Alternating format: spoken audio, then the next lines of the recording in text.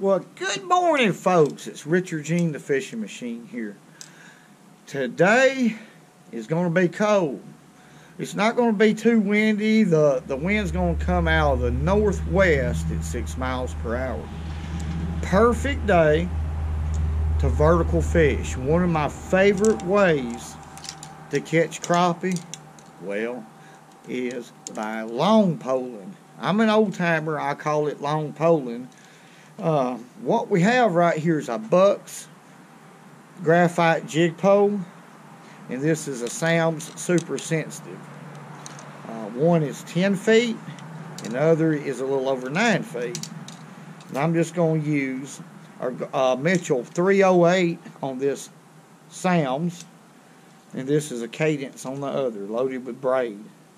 Six pound test braid and this is loaded with four pound test Mr. Crappie.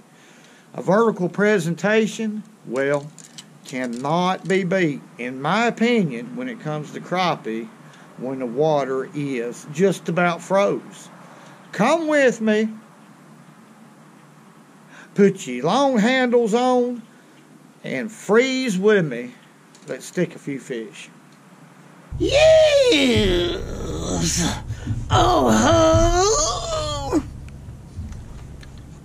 All right, folks, let's get busy right here. Right now, the surface temperature is at 44 degrees. And I've noticed that this water is a little bit cloudy, so I'm going to start off with a chartreuse and gold hair jig. Now this this jig head right here is a 132nd ounce. It has a size 6 sickle hook which is bent up just a little too much. Okay, that's a lot better. And I have it tied with a loop knot, four pound test Mr. Crappie, and this is a Sam's super sensitive jig pole. And it's, uh, I believe it's 10 feet long or nine foot three, light as a feather. And what we got right here is a Garcia Mitchell 308 high vis line, four pound test. So let's get on in here and see what we can do. Now the main thing about crappie fishing, especially a vertical presentation, is to really pay attention to what's going on out here. I want to find out how deep the fish are. When I catch a fish, I want to see how aggressive that fish bit and and of course like I said how deep he is. I'm concerned with the depth right now. Now we're off of a little creek right here and I'm sitting in about 12 feet of water right now. So we're gonna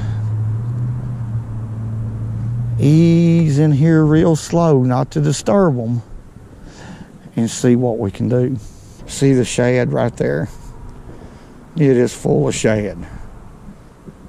Right there on the bottom. Okay, they're about four to five feet from the bottom.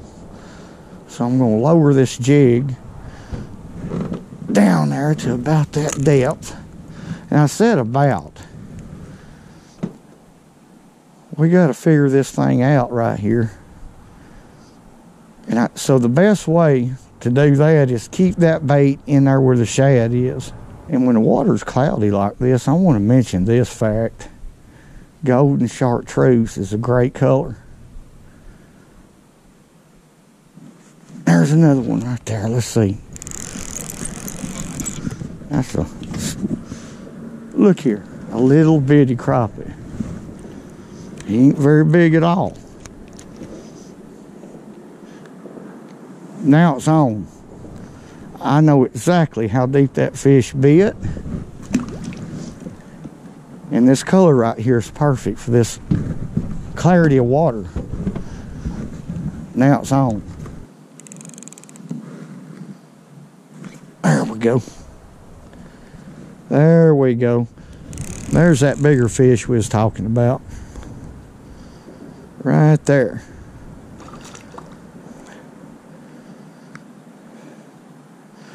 Now I know what I was doing wrong.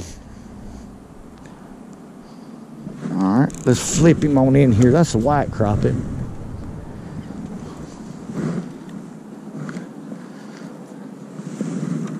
Okay.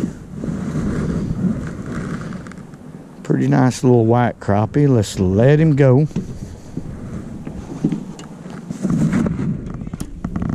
There he goes. Maybe. Shook his head. He's mad at me. Now the reason why I'm catching these fish, that's a highly visible jig. 132nd, it falls very slow. I can control it easy. I'm going to put it right back in there where I caught that fish, which is right there. I'm going to slant my rod and let that jig follow. Every once in a while, I'll give it a little action. Look at my rod tip right here. Just a little bit. Bounce it just a little bit and then go ahead and catch that fish. That is how easy crappie fishing is.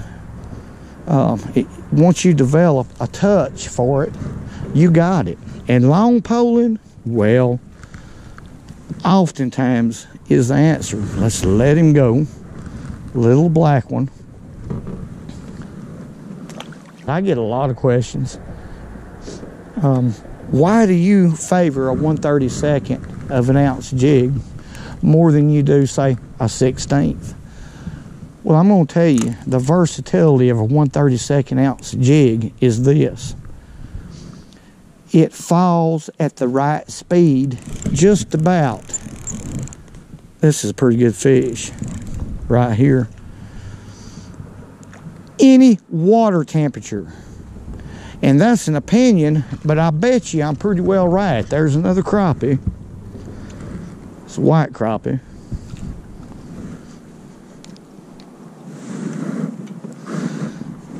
Man, that, that fish right there is, is pretty. Cannot beat it. I'm talking about, whoa, Bursel. Oh, Bursel. He's got old long feet and yellow toenails. Let's let him go. Hey, man. Whoa! That's one of the things that you really have to pay attention to.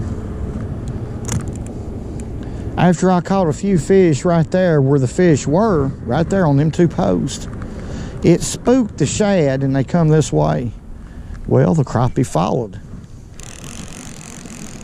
Oh, that was a good crappie. But I wanted to show y'all that. By catching those fish, uh, crappie in amongst those shad, the, the shad will spook. They'll move. And the crappie will move with them. So you have to keep that in mind. That's why all of a sudden they quit biting. You'll say, oh, why'd they quit biting? Well, by them crappie fighting, those are small ones I'm missing, folks. Fighting in amongst that school shad. The shad's going to move a little bit. That's the point I'm trying to get at. So I'm having to keep up with where those shad are. Right there. And there he is. You see? So that's how important it is to follow the shad. It don't matter if you're on the edge of a creek channel out in the middle of the lake or fishing like I'm doing right here on the edge of a creek. Same difference. There's no difference. I keep, uh, that's why I keep saying if they ain't no shad present, don't fish. Don't waste your time. Let's throw him back. All right, let's talk about setting a hook. On a jig pole, in my opinion, there's only one way to really set the hook, and that is straight up, folks. And I'm going to demonstrate that just right, right here in just a second. There he is. Mm-hmm. That's a good one. That's a Jim Dandy.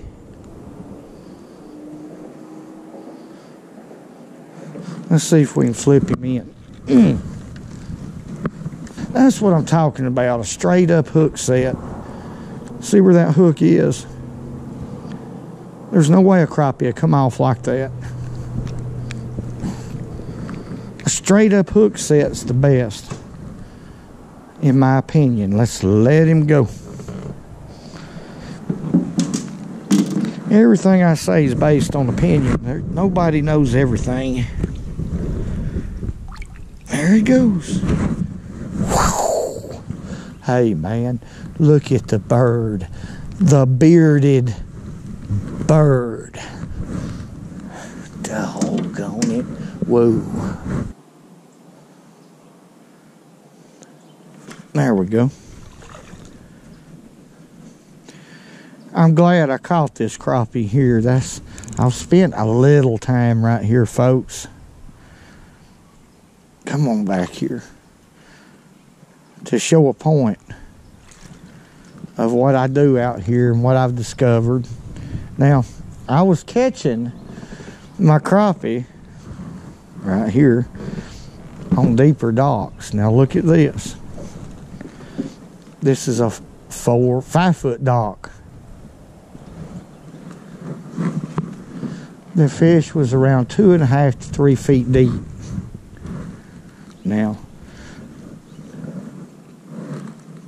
that's what I'm talking about. That's what I'm talking about. Let's let him go. Going back.